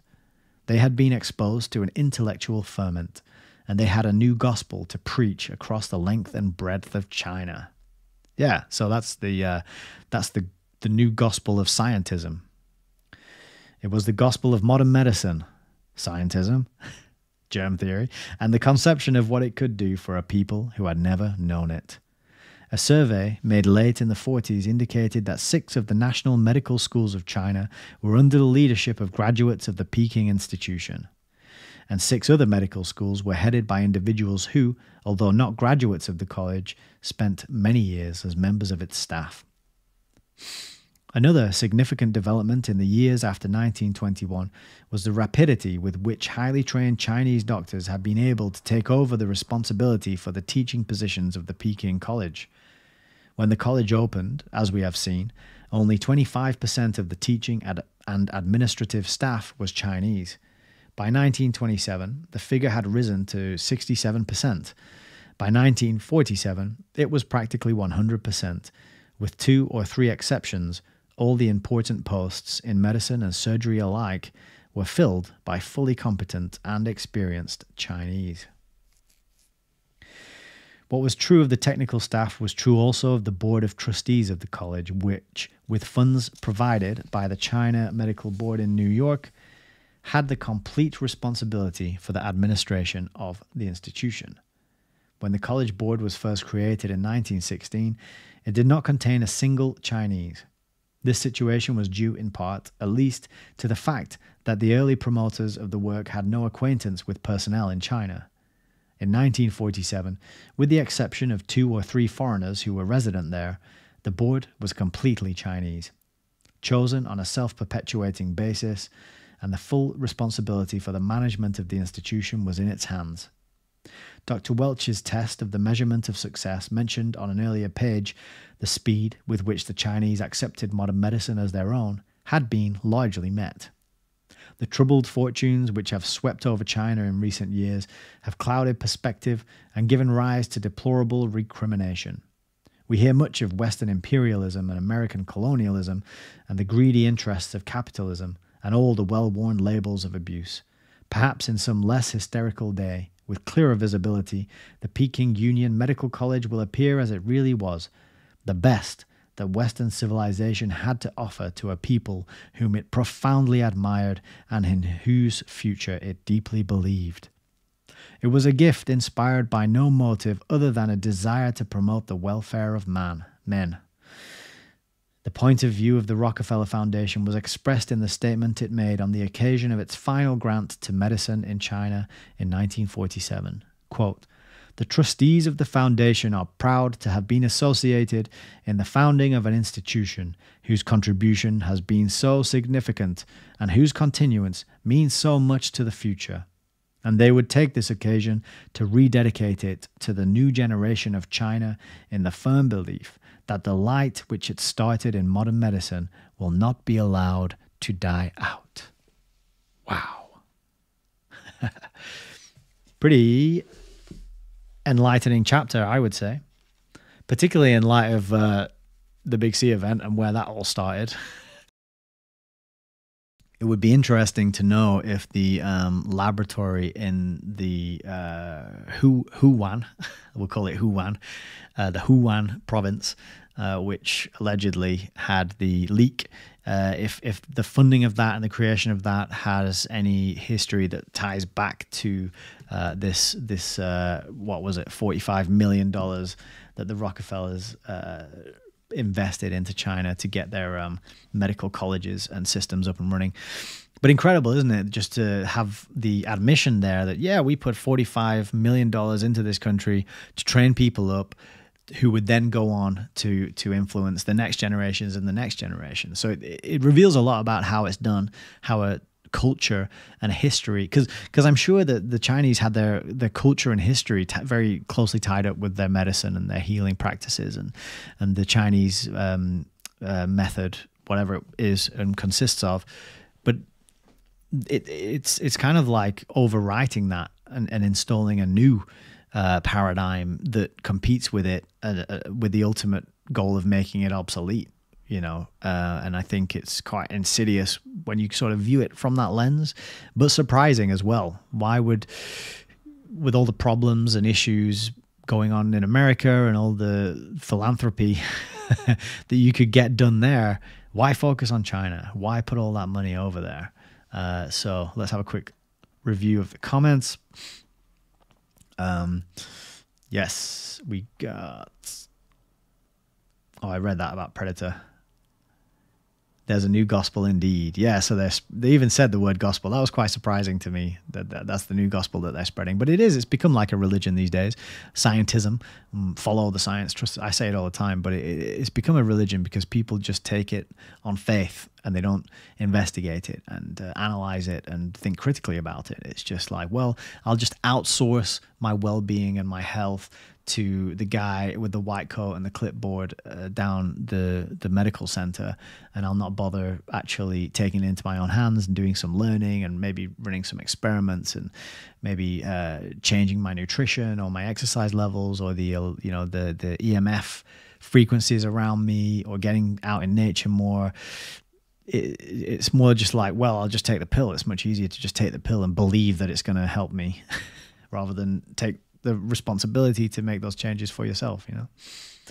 Peter says they believe nothing of the sort. They always know what they are doing. Yeah, they definitely had a plan, didn't they? And LJ is saying, why China indeed? Well, I'm not sure. But maybe, you know, that maybe what we've seen over the last four years is part of why they picked China. Maybe there is a, a continuity that goes back and then 100 so 100 years ago you've got the rockefellers putting 45 million into china and 100 years later you've got videos of people uh, you know falling face down in the street getting spread around the world and we all get locked in our homes and uh, threatened with you know unemployment and um, never being able to travel so there is some link there, uh, but I'm sure the history of that whole intervening 100 years would be quite complex and hard to uh, wrap your head around. But very interesting to know that the Rockefellers were there at the beginning, I think. So I'm just going to have a sip and then we can do another chapter. And then we'll call it a night. Two chapters is, has been a good pace, I think, for this book. Two chapters per video seems to work quite well. So the next chapter is eight. And this is medical education in the United States. It was not alone in China that the Foundation helped in the development of modern medicine. In a series of bold moves in many countries around the world, it lifted the problem of medical education to a new plane. Here again, as in the development of the Foundation's public health work and in its China program, it seems to have been Mr. Gates who first initiated the undertaking. It was what he called a pregnant idea, and he threw his influence behind it with all his characteristic enthusiasm and intensity. The time was, he wrote some years later, and we can all remember it, when medicine was under such difficulties and in such darkness that the enthusiastic young men who committed themselves to it pretty soon found themselves in one of two categories either confirmed pessimists, disappointed and chagrined, or else mere reckless pill slingers for money. Just as Osler's book on the principles and practice of medicine had stirred Gates' imagination and had led to the creation of the Rockefeller Institute for Medical Research, so it was another book, Medical Education in the United States and Canada, that now captured his alert and eager mind. The book was written in 1910 by Abraham Flexner as a result of a study he had made for the Carnegie Foundation for the Advancement of Teaching, and it was one of the great landmarks in the history of modern medicine in the United States. Mr. Flexner, himself not a doctor, was the brother of Dr. Simon Flexner, head of the Rockefeller Institute, and he had the keen, razor like mind that characterized that remarkable family. The boldness of his thinking and the tenacity of his opinions frequently created antagonism, but he had an intellectual energy and drive that were to have profound consequences on contemporary medicine. He had personally investigated all the medical schools in the United States and Canada, 155 of them, and in his book, he described them one by one with an objective frankness, letting the reader draw the necessary inferences. Not more than half a dozen of the schools were able to give their students anything approaching an adequate medical education. Many of them were nothing more than casual associations of local physicians.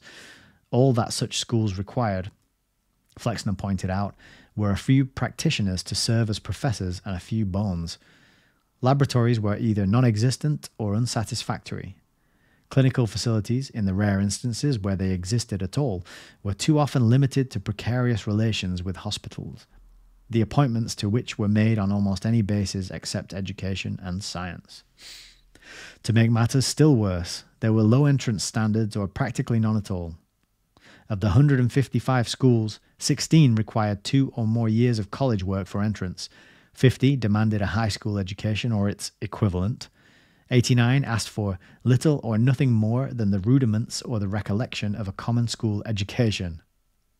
In the majority of the schools, students' fees went directly to the instructors, and the curriculum was apt to be short and ungraded. Dr. Simon Flexner, describing the medical school he entered in 1887, reported quote, It was a school in which the lecture was everything Within the brief compass of four winter months, the whole medical lore was unfolded in discourses following one another, following one another in bewildering sequence through a succession of long days. Unless the wisdom imparted should exceed the student's power of retention, the lectures were repeated precisely during a second year, at the end of which graduation with the degree of Doctor of Medicine was all but automatic. In his introduction to Flexner's report, Dr. Henry S. Pritchett, president of the Carnegie, oh, we, we said it before, Carnegie, Carnegie Foundation for the Advancement of Teaching, made this comment, quote, for 25 years past, there has been an enormous overproduction of uneducated and ill trained medical practitioners. This has been in absolute disregard of the public welfare and without any serious thought of the interests of the public overproduction of ill trained men is due in the main to the existence of a very large number of commercial schools, sustained in many cases by advertising methods through which a mass of unprepared youth is drawn out of industrial occupations into the study of medicine. The inadequacy of many of these schools may be judged from the fact that nearly half of all our medical schools have incomes below $10,000 and these incomes determine the quality of instruction that they can and do offer. The Flexner report produced an immediate and profound sensation. It touched off a, ran- a reform movement which was already in the making several years earlier. The American Medical Association had set up a council on medical education which was working persistently to improve standards. And even before the Flexner report appeared, the growing demand for more adequate laboratory instruction was cutting drastically into the profits of the poorer schools. Moreover, increasing recognition was being given to the value of having medical schools attached to universities as fully integrated departments. As Pritchett said in his introduction to Flexner's report, in the future, the college or university which accepts a medical school must make itself responsible for university standards in the medical school and for adequate support for medical education. The day has gone The day has gone by when any university can retain the respect of educated men, or when it can fulfill its duty to education by retaining a low grade professional school for the sake of its own institutional completeness. The conception of the medical school that had slowly developed at the few good institutions like Johns Hopkins and Harvard involved a four year graded course, the first two years devoted to laboratory subjects anatomy, physiology, and pathology, the last two years to clinical subjects such as medicine, surgery, and obstetrics. For satisfactory results from the first two years of such a graded course, three things were necessary adequate facilities, well trained teachers devoting their full time to their work, and a competent student body already equipped with knowledge of biology, physics, and chemistry. For the clinical years, the last two of the four year graded course, the need of adequate hospital facilities was being increasingly recognized. Adequate, in this connection, meant that the hospital should be readily accessible to the medical school that it should be equipped and organized as a teaching hospital, and that the staff should be under university control and selected with some measure of participation by the university. 2. It was at this turning point in the development of the American medical schools that Flexner's book fell into the hands of Gates. The story goes, perhaps apocryphal, the Gates invited Flexner to his office and asked him what he would do for medical education in the United States if he had a million dollars. Flexner replied instantly that he would give it to Dr. Welch at Johns Hopkins. No answer could have suited Gates better, for he had a partner before with Dr. Welch in the planning of the Rockefeller Institute and the Rockefeller Sanitary Commission, and he was a great admirer of Welch's shrewdness, courage, and judgment.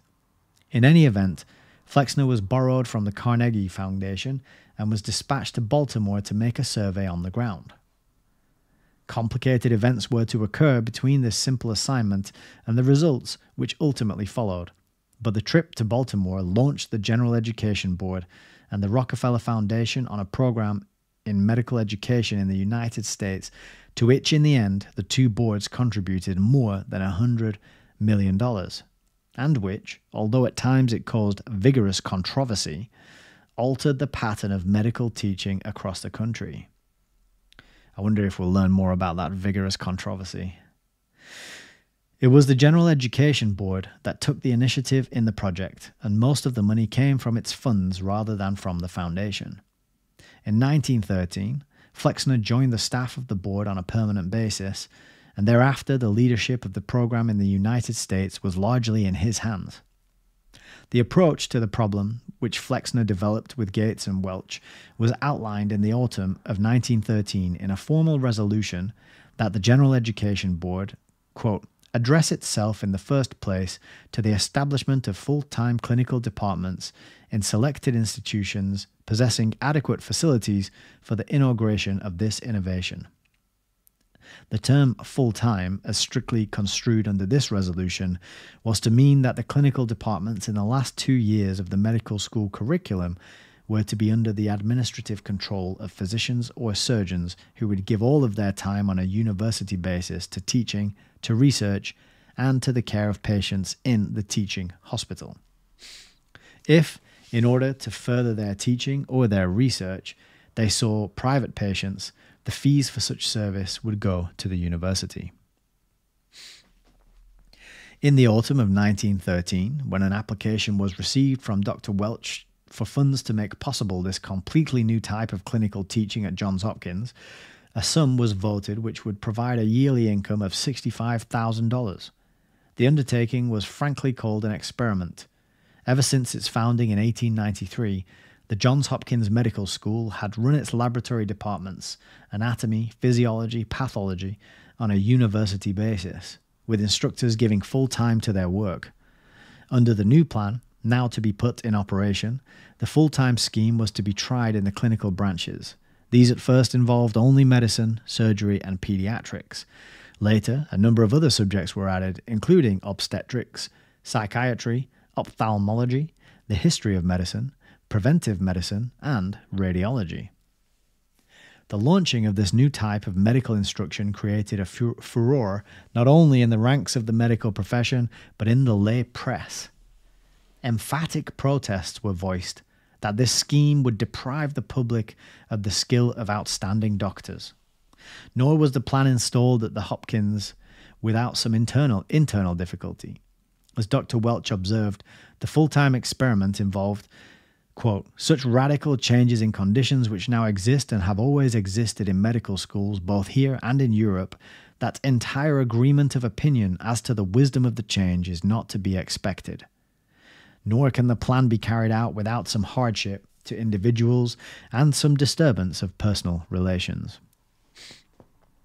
By and large, however, the enthusiasm of those backing the undertaking ran high.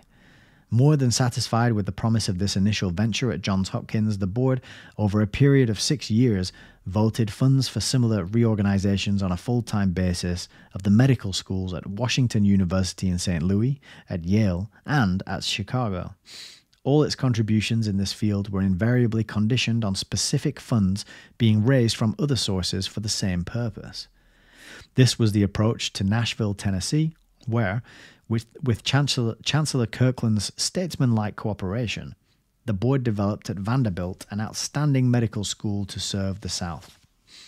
As Flexner later stated, the first appropriation to Vanderbilt of $4 million, later increased to 17.5 million, acted like a depth bomb, hastening the mortality of inferior schools while those that were determined to survive made rapid plans to enlarge their resources and elevate their arms. Before this last large scale plan came into full operation, however, the board's scope in the area of medical education was vastly increased by new gifts from Mr. Rockefeller. Up to this time, the board had financed this program from its general funds. Between 1919 and 1921, Mr. Rockefeller gave the General Education Board $45 million earmarked for medical education in the United States. Oh, excuse me. This chapter is incredibly dry, like my throat. Three. Although, hang on, what was that bit that I did want to comment on back here? Uh, the um, this this controversy about so so it sounds like they're getting the experienced doctors to focus on teaching the up and coming junior doctors, which means there's only inexperienced or junior doctors left to actually treat patients. So I think that was my reading of what the what the controversy and the public uh, the, the the lay press were were unhappy with. But also uh, interesting here that uh, they're talking about hastening the mortality of inferior schools. And I wonder if those inferior schools just also happen to be teaching uh, different modalities of healing and different different uh, methodologies of of promoting health and well being. You know, such as herbs or exercise or nutrition. Um, but of course, he's not going to tell us that. They're just inferior schools. Part three. With resources thus augmented, the board enlarged its area of work the annual report for 1919 to 1920 reiterated the view that the full time scheme had been undertaken in an experimental spirit. Its cost had been found to be very great. It would be a serious mistake to leap to the conclusion, cautioned the report, that the scheme should be universally adopted at that time. And the report added, quote, while experience thus far sustains the presumption based on a priori consideration that the system is worth the price, it still remains to be objectively proved that teaching, care of the sick, and scientific production are all so much better under the full time scheme that universities generally should move to its adoption. The board indicated that while aid would be continued to institutions already in the lead, attention would also be given to other schools. It was felt that medical education in all sections of the country needed to be stimulated and improved. And it frankly recognized that there was useful work to be done in helping communities strengthen the best their medical schools provided. Regional needs were given particular consideration. In the East, the officers pointed out to the board soon after the 1919 gift had been received. Quote, Medical education is altogether in the hands of privately endowed institutions of learning. With the exception of some eight or ten schools, Medical education in the West and South is in the hands of state universities. The board has found it practicable to cooperate with endowed institutions in developing their medical schools. It has had thus far no experience with state or mun- municipal institutions in this field.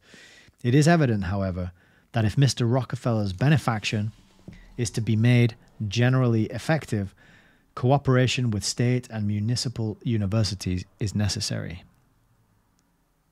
In line with this thinking, Flexner brought before the board a proposal to assist the University of Iowa in moving its medical plant across the river to a site where a new teaching hospital with its necessary laboratories could be built. Without such help, it was believed that years would elapse before the state could be persuaded to undertake so ambitious a plan, and consequently, medical education in this key section of the Middle West would be greatly retarded. The proposal, which involved $2.25 million to be contributed jointly by the General Education Board and the Rockefeller Foundation, met with Gates' determined opposition. In one of the stormiest meetings of any of the Rockefeller boards, he fought the proposal single handed with all his characteristic intensity. With passionate gestures and with his white hair in disarray, he seemed like an old lion at bay. The state universities, he declared, were creatures of politics subject to dictation on economic and scientific questions. It would be against public policy for a cent of Mr. Rockefeller's money to be given to them. The best service which could be rendered them would be to protect them in freedom of teaching by throwing around them in every state a cordon of strong, free, privately endowed colleges and universities. This was in 1923, and Gates did not understand the progressive forces which, even as he spoke, were converting the great state universities into the social and scientific laboratories they have become. Flexner's point in rebuttal was conclusive. We are fortunate in this country in having two types of institutions, one under private and one under state management. We not only escape bureaucratic uniformity, but we obtain a wholesome competition. On the medical side of the question, his argument was this We are trying to aid in the development of a countrywide, high grade system of education in the United States. If we confine our cooperation to endowed institutions, we can practically cooperate only in the East. So they're trying to standardize education, it sounds like. It was one of Gates's last appearances at a, at a board meeting. As an expression of protest, he resigned from the executive committee, and although he was not the type of man to allow differences of opinion to affect his personal relationships, thereafter he had little confidence in Flexner. One of the last thoughts he confided to his private papers before his death was about bureaucratic officers usurping the power of the board. Following the grant to the University of Iowa, similar gifts, although in smaller amounts, were made to other state medical institutions, including the University of Colorado, the University of Oregon, the University of Virginia, and the University of Georgia. An appropriation was also made to the University of Cincinnati, a municipally controlled institution. In each of these cases, the purpose of the board was to expedite developments which undoubtedly would have occurred in time but which might have been unconscionably delayed. In the difficult art of giving, to hasten the arrival of the inevitable is sometimes the height of statesmanship.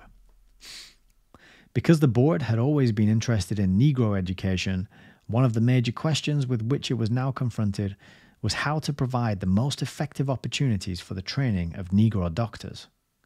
Over a period of years, it extended liberal support to the Medical School of Howard University in Washington, D.C., a private corporation receiving a large proportion of its aid from the federal government. But it was to Meharry Medical School in Nashville, Tennessee, that it finally gave its chief cooperation and help. A private organization supported for many years by the Freedmen's Aid Society of the Methodist Church Meharry seemed to be the most promising center for a significant development. Consequently, with board funds, a new site was purchased close to Fisk University, and new buildings and laboratories were erected. The board hoped that some kind of an affiliation would be established between Fisk and Meharry and as part of its medical program, it strengthened the science courses at Fisk through grants for that purpose. As a matter of fact, affiliation was not achieved, but proximity and daily association resulted in cooperation with regard to such matters as laboratory and library facilities. Even more significant was the strengthened stimulus felt by each institution of scholarly standards and of the scientific spirit. The board's aid to Meharry totaled more than $8 million, and the school not only achieved a stable high rating, but developed into a wide regional center for the professional preparation of Negroes in medicine, public health, dentistry, and nursing. But it was to be but it was to the development of the full-time plan in key institutions that the board devoted the major part of its resources. Obviously, said the officers, all medical schools could not be substantially assisted. Obviously, money would have to be massed at strategic points. This was in accord with a policy which ran back to the days of Mr. Rockefeller's personal philanthropy, a policy of building on strength rather than on weakness. Make the peaks higher, Rose used to say, by which he meant that as the standards in first class institutions were progressively raised, the radiating effect would spread not only through an entire region, but across an entire country. Sounds like trickle down economics. The influence of a Johns Hopkins or a Chicago would, in the end, reach every campus and every medical school in the United States. Consequently, in the years following Mr. Rockefeller's new gift, the General Education Board, occasionally with the participation of the Foundation, concentrated its efforts in medical education in places like Harvard, Columbia, Cornell, Tulane, Western Reserve, and Rochester. Incidental aid, sometimes in substantial amounts, was given to many other institutions like Duke University, Emory University, and the Memorial Hospital in New York. But the major policy of the board was to avoid scattered assistance and to mass its support behind strength or political or potential promise. In the midst of these activities, it became increasingly clear that compared to the importance of the trained men for teaching and research, endowment, buildings, and equipment were merely accessories. As schools raised their teaching standards, the demand for qualified men was rapidly increasing. For years, a similar need had been felt at the Rockefeller Institute, where Dr. Simon Flexner was deeply concerned that men should be found and developed who would continue the Institute's scientific leadership. His views were shared by board and foundation officers who were working for improved medical education. Competent men were not going into academic medicine because they were financially unable to support themselves during the prolonged period required to equip teachers and investigators. To meet this need, therefore, as far as it could be met, Appropriations were made by both the board and the foundation to the National Research Council for a system of fellowships to aid men qualified for academic careers in medicine. These fellowships have been maintained to this day, and their influence on the development of the medical sciences in America has been attested over and over again. All right, part four surveying the General Education Board's experience in medical education over the decade and a half, which is 1913 to 1929, in which the program was in active operation, it is evident that full time was the point upon which opinion continued to be sharply divided.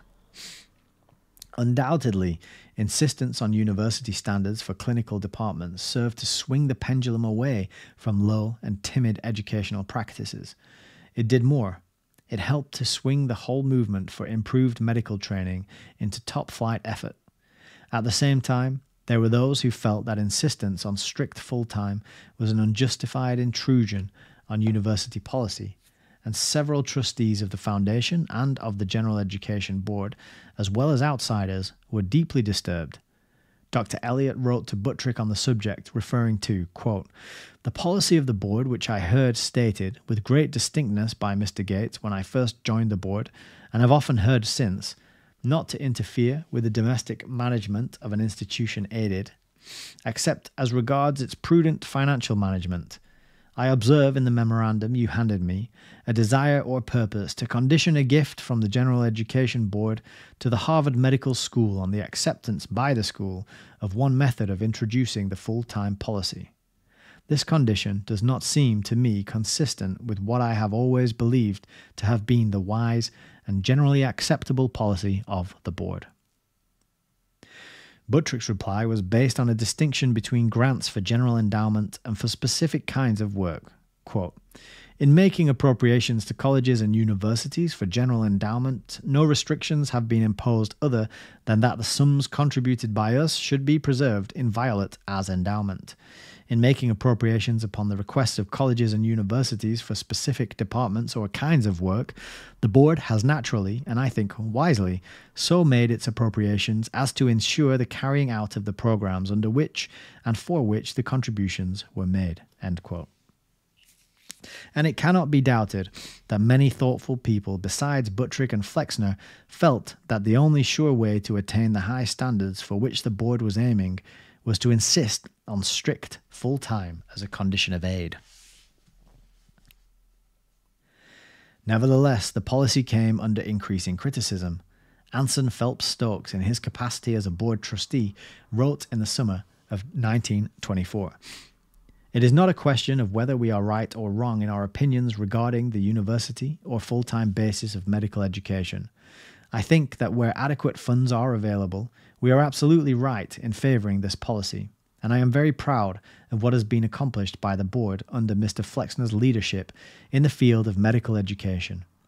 But it is a question of whether or not we can psychologically and morally afford in view of public opinion and our great wealth as a board, to be imposing or at least requiring detailed conditions regarding educational policy in medicine in elaborate contracts which can only be amended with our consent. Personally, I think this policy unwise and fraught with serious dangers. Taking all these points of view into consideration, the board modified its policy in 1925 authorizing the revision of contracts with medical schools to permit such modification as educational and scientific experience might, in the judgment of each school, justify. Some schools to which the board had given money continued on a strict full time basis, others modified the plan. As these modifications were developed, they generally took the form of what is now called geographical full time. Under this plan, the school or hospital provides the professor or physician with his office rent free, and there he conducts all his consultation work and practice. This has a considerable advantage in centralizing his work and the work of the department to which he belongs. A staff member on geographical full time is either paid a fairly substantial salary and allowed to keep an, an amount equal to this salary out of the fees he collects, the surplus being turned over to the university, or he is paid a small nominal salary and allowed to keep all his fees. Dr. Alan Gregg, reviewing the whole situation in 1950, made these three points. Quote, 1. By its emphasis on planned professional teamwork, full time clinical teaching has paved the way for an important form of practice today group practice, with its economical use of costly diagnostic and therapeutic machines and instruments. 2 by diminishing the obligation of young professors while teaching to build up an extensive local private practice, the full time system has opened to them a much larger choice of posts over the country and has thus favoured the growth, advancement, and dissemination of able young men. Entire regions of the country can benefit from talent that otherwise would have stayed in eastern, eastern metro- metropolitan centres. 3. Few, if any, young men trained in full time departments would now vote for the part time teaching system. And what young men prefer has vitality for the future. The decision to work for improved medical education brought the board and the foundation into contact with new educational techniques. Quote, we ourselves never pretended to have an original idea, said Flexner later, but we knew educational strategy the revolution thus accomplished brought American medicine from the bottom of the pile to the very top. And indeed, it was a revolution. It was a vast pump priming operation geared to an ambitious idea. The $100 million contributed by the two Rockefeller boards, matched many times over by the generosity of scores of citizens like Rosenwald in Chicago, Eastman in Rochester, and Harkness in New York, took the teaching of medicine in the United States from the discreditable position it occupied in 1910 and gave it a status which it shares with only a few other countries in the world. As controversy arose over theories and methods, the two boards clarified and broadened their own thinking. So, again, it'd be good to know what theories and methods are uh, being questioned here. Maintaining an inquiring and flexible point of view, they adapted their procedures to developments that their own initiative and experimenting helped to bring about. But their fundamental aim remained always the same to throw their weight behind the improvement of medical education in the United States. This involved difficult policy decisions as well as ingenuity, resourcefulness, and persistence, intent on helping to develop the best. It is fair to say that the Foundation, and particularly the General Education Board, had a firm hand also in defining and strengthening what the best might be. Although at the close, that's pretty that's pretty critical as well, there isn't it? It's fair to say that the foundation and the General Education Board had a firm hand in defining what the best might be. So they're setting the criteria by which to measure intelligence and success and achievement and what is a good career path to go into. They're really shaping the culture here um, and linking the academic sphere in with the with the medical sphere. And just think about how how much it's pushed on us that uh, it's a good noble thing to want to be a doctor. And you always see it on television tv shows and films. There's a young child what are you going to be when you grow up? I'm going to be a doctor. Or you see uh, tv shows like scrubs or i don't know grey's anatomy before that what was the george uh, clooney one er all these dramas kind of uh, making doctors to be heroes and to have a certain kind of life and really try and push into the minds of the viewers this idea that it's a kind of a noble, worthwhile, fantastic thing to get into. And then, of course, once you've been through all those hundreds of thousands of hours of training and learning and all the money that you spent and the debt that you've racked up, and all the grueling sort of uh, residencies and placements that you've been through, when you finally qualify, it's going to be very, very difficult. It would take an immense strength of character to then turn around and be courageous enough to to question that whole paradigm that you've now been indoctrinated into so thoroughly. It would take an immensely strong personality to do that. Um, so once you're in it, it's going to be hard to get out, isn't it? So, but this is kind of them admitting that they shaped all that and built all that system, and they got to decide. Uh, what was it? They got to decide defining what the best might be. Although at the close of the 20s, not one university in the United States possessed what could be called a complete medical school offering all the specialties, the General Education Board felt that sub, sub, such substantial progress had been made in medicine education over the period that its efforts would thenceforth have greater significance in other fields. Before this time came, however, the foundation was to extend the drive to improve the training of doctors until it touched many of the leading centers of the world. And that is the end of chapter 8. And uh, so we've had medical education in China, we've had medical education in the States. Guess what's next? Medi- medical education around the world. So that's chapter nine, which we'll be carrying on with on Thursday at the same time, seven o'clock on Thursday. So that chapter was kind of dry, um, but shows you what they were going for in the establishment of the standards and the and and creating the it's kind of like they they almost created that mythos.